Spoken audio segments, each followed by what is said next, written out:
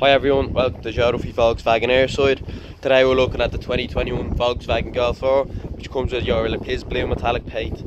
This car comes with a 2 litre petrol engine which produces 320 brake horsepower and also comes with an automatic transmission.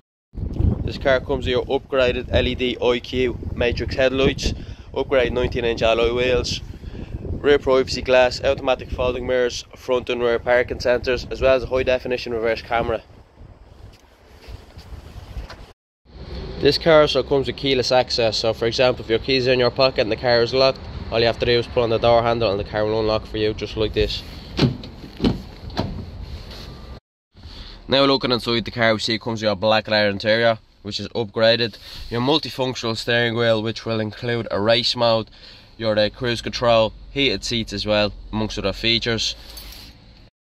It also comes with infotainment system right ahead which uh, allows you to connect to the sat nav Apple CarPlay or Android Auto, whichever phone you have.